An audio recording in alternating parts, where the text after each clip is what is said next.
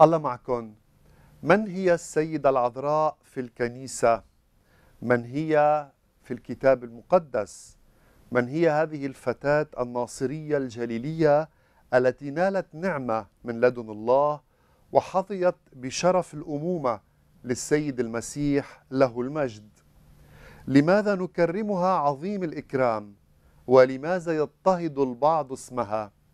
سنتعرف على والدة الإله من خلال سلسلة حلقات مع الأب المتخصص في الكتاب المقدس بيتر مدروس الذي حضر خصيصا من الأراضي المقدسة ليكشف لنا الحقائق من الكتاب المقدس. أهلا وسهلا فيك أبونا. خلينا هيك الله يحفظك. تحية للمشاهدين كمان. في الحلقة الأولى وهي حلقات سريعة. الله راد رح تكون لحتى تكون آه، عم توفي الغرض آه، مع المشاهد. رح نتناول موضوع قيمة أمنا مريم العذراء في الكتاب المقدس. فبداية يا ريت تعرفنا قبل العهد الجديد انذكر عدة مرات إنه رح يكون في عذراء رح تولد المخلص. خبرنا بأي مراحل. نعم شكرا أخ جورج. ليتمجد اسم سيدنا يسوع المسيح إلى آمين. الأبد. آمين. أهليني لمدحك أيتها البتول القديسة أعطيني قوة على أعدائك. في العهد القديم قبل العهد القديم عندنا بسفر التكوين فصل 3 آية نعم. 15 ربنا بيقول للحية الجهنمية وهي آه، الشر أساس الشر. الدافع إلى الشر المتهم يعني الشيطان إبليس. سأجعل عداوة بينك وبين بين المرأة مرأة. وبين نسلك ونسلها وهو يسحق رأسك. إذا المرأة التي ستلد المخلص القاهر الذي سيسحق رأس الحية الجهنمية يعني يسحق رأس الخطيئة والموت ما هي إلا سيدتنا مريم العذراء؟ نعم. فهذا هو هذا النص شيء الأول. حدده كمان آباء الكنيسة. أنا نعم. آه رح اكون عم بهالحلقات كلها عم بستشهد بكتابك سيدتنا مريم العذراء في الكتاب المقدس عن حضرتك عامل أبحاث. ولد ولديك العديد من المؤلفات آه، بتشرح فيها آه، حقائق إيمانية. نعم. والدفاع اللاهوتي.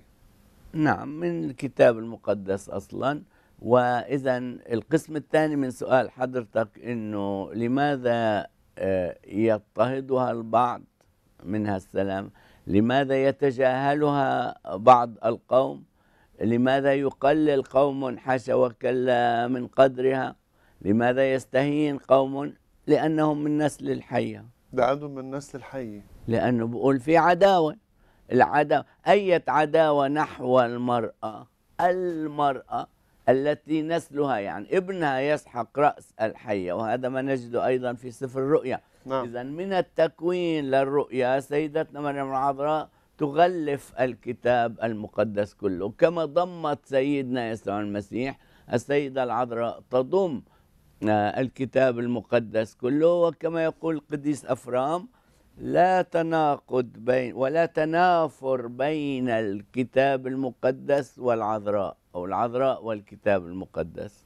لأن في ناس بيقول لك أنا تابع الكتاب المقدس ماني بحاجة للعذراء نعم. أساسا شو بقول لك الكتاب المقدس هيدا الكتيب الصغير بجاوب مش الكتيب يعني نعم. الكتاب نفسه بجاوب. مقدس الإنجيل. ولكن لأنه بيكمل مار إفرام بيقول أو مار إفريم زي ما بيقولوا باللبناني بيقول لا تنافر بين السيدة العذراء والكتاب المقدس. ففي حين أننا نجد في الكتاب المقدس كلمة الله المكتوبة نجد في العذراء كلمة الله المتجسدة. نعم.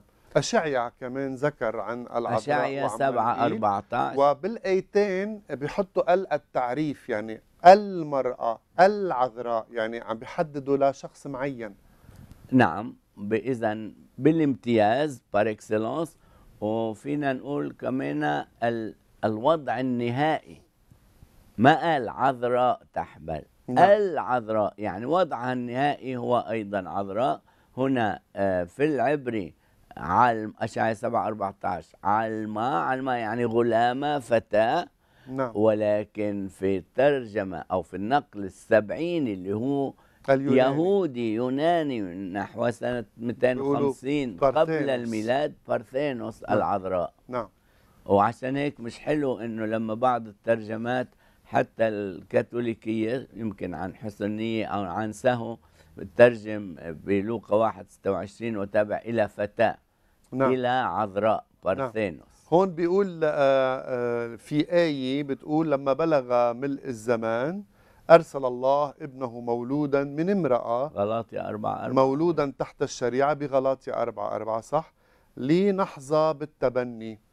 طيب هون شوي بتخليك تفكر هيدي الآية إنه هون ما قال عذراء مربولس قال امرأة. امرأة مش زي مخنا إحنا الشرقي اللي بنميز نقول هيدي بنت وهيدي كانت بنت لما تجوزت وصارت مرة. نعم. إيه. أو لقاها مرة يعني يعني غير بتول هيدي بعقليتنا الشرقية نعم. وتعبيرنا بفلسطين معقول هو عم. بيذكر إنه يعني مرأة يعني أنثى- جنس النساء جنس النساء إذا هذا تلميح إلى المرأة نعم التي ستسحق رأس الحي نعم. وعشان هيك لما يسوع بيقول يا امرأة يعني أيتها السيدة يعني من جنس النساء النساء عفوا. حتى الكلمة الآرامية أوضح بكتير أنتت. أنتت يعني أيتها الأنثى. بس يعني طبعا باحترام. بتشوف معي عندي فكرة تانية كمان يمكن عم بيقصدها بولس إذا ممكن آه، توافقني أو تصلح لي.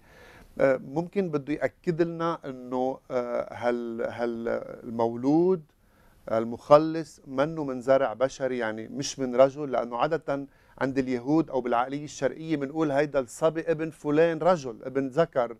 ما بنذكر مين أمه بنذكر مين بيه بس هون هو عم بيقول مولود من امرأة معناتها عم بيحدد إنه ما له بي يعني بال... بالنسل الأرضي.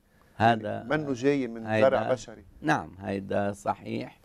آه، من جهة ومن جهة تانية بده يقولنا إنه هيدا إنسان حقيقي وليس شبه إنسان. نعم. وما كان عنده شبه جسد ولا شبه ولد ولا شبه حبل به ولا شبه مات ولا شبه قام من بين الأموات. قصة البدعة التشبيهية والغنوصية. نعم. بيسأل البعض آه، لحتى يشككوا بأمنا مريم العذراء بيقول يعني شو ربنا عايز آه، مريم العذراء بالتحديد؟ بيقدر أي بنت يدعوها وكانت تقبل. ليش أنتم عم تعطوا هالأهمية لمريم العذراء؟ آه، يعني نحن كلنا ما بنختار أمنا. ف... الوحيد اللي اختار أمه هو الرب سيدنا يسوع المسيح. نعم. كيف بدك يختارها يعني؟ بدك يختارها أنا دائما بقولها. حلوة ولا بشعة ذكية ولا غ- هبلة؟ غبية. دمها خفيف ولا دمها شقرة أو ولا آه، يعني الملاك قال لها مباركة أنت في النساء.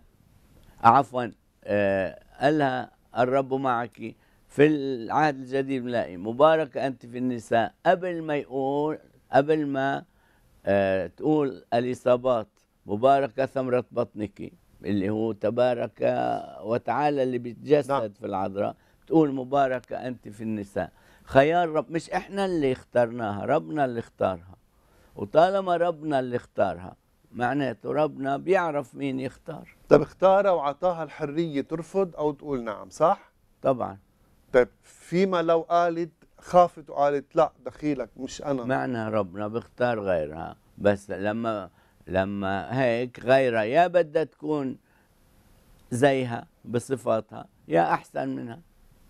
فشو رأيك يعني؟ ربنا بيختار الأحسن ولا النص كم والسكر قليل وال... ربنا بيختار الأفضل لتجسده. التجسد السيدي بتقول حضرتك جعل يسوع ابنا لمريم وجعلنا أبناء الله بالتبني. عن طريق الروح بقوة الآب بفضل المسيح وعن طريق السيدة العذراء التي من غيرها لا تجسد ولا مجال للتبني ولا الفداء. هون عم تجزم حضرتك من غيرها ما كان في تجسد ولا كان في فداء. لأنه هيدا اللي صار. زي ما تقول آه إنه هيدا اللي صار في الواقع هيدا اللي كان متنبأ عنه نعم. في أشعيا في تكوين في أشعيا في ميخا. نعم. إذا ال- النبوات هيدي تمت في العذراء ولكن تمت في العذراء ب بقبول منها بإرادة بعدين بشجاعة عظيمة منها بدون مؤاخذة الناس ما عادوا يفكروا خصوصا اللي حطوا في مخهم إنه يزيلوا العذراء. نعم. حاشا وكلا. شو يعني بالنسبة لفتاة مخطوبة في القرن الأول الميلادي إنها تكون حامل تطلع حامل من غير خطيبها. نعم. خطر فس فسخ الخطوبة يعني طلاق وخطر الرجم. طبعا. إذا يجب عدم الاستهانة أبدا بشجاعة بطولة السيدة العذراء كانت مستعدة تقدم حياتها. للمسيح الجنين. ب- نعم. بهيدي الظروف. نعم. مش إحنا مش بالسويد. إحنا في القرن الأول الميلادي بين اليهود. نعم. آه، بما أنه عم نحكي عن قيمة مريم العذراء وال- والقيمة اللي أعطاها إياها الرب الإله آه، بتعرف تتذكر إنه كانوا يحكوا آه، بالعهد القديم عن مسكن الله بالخيمة وبعدين نعم. قال لهم بدي أسكن بينكم وسكن أول شيء بأحشاء مريم وأمنا مريم اعطتنا إياه اعطته للبشرية ليسكن فينا يصير نعم. ملكوت السماوات فينا نحن. فإذا آه، حضرتك بتفسر الكلمة مزبوط بتسميها شكيناه بالعبرية؟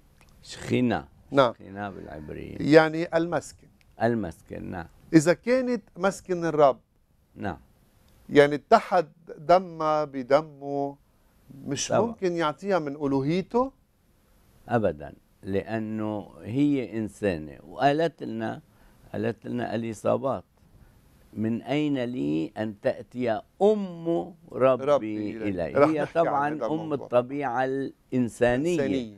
اللي في المسيح اللي في المسيح المتجسد لأنه الطبيعة الإلهية منا بحاجة لأم بس بعد إذنك بدي أرجع على موضوع إنه إحنا نلنا التبني بدم يسوع ببنوة يسوع الابن الوحيد ولكن أيضا حسب غلاطيا أربعة أربعة بيقول أرسل الله ابنه ما قالش أرسل الله ابنه فضائيا هوائيا مولودا من امرأة وطوالي بقول لكي حسب الشريعة ليش حسب الشريعة؟ عن طريق مار يوسف. نعم. لأنه لولا ما فيش مار يوسف بيقدرش يسوع يولد كطفل شرعي.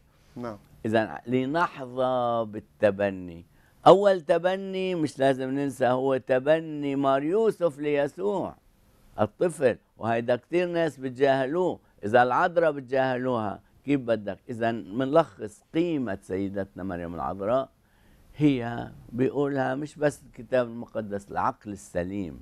نعم. النية السليمة هي قيمة الأم أولاً. والعذراء ثانيا وثانويا. الملك أم الملك. الملكة الأم مش الإله الأم زي نعم. ما في بعض بشر لازم بيدعوا. نختم لحتى نرجع نتابع حديثنا آه، بحلقة مقبلة والله معكم. احكي يا مريم أسرارا. من لون بالفرحة أخبارا احكي لي يا مريم أسرارك.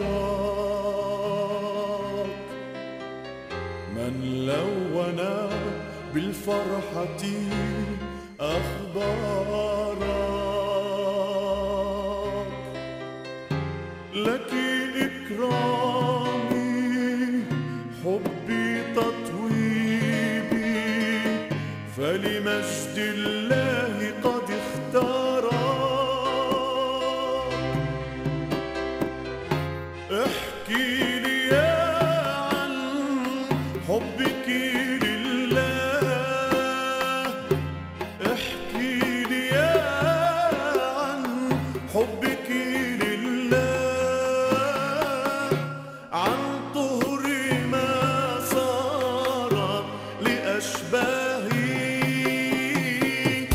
احكي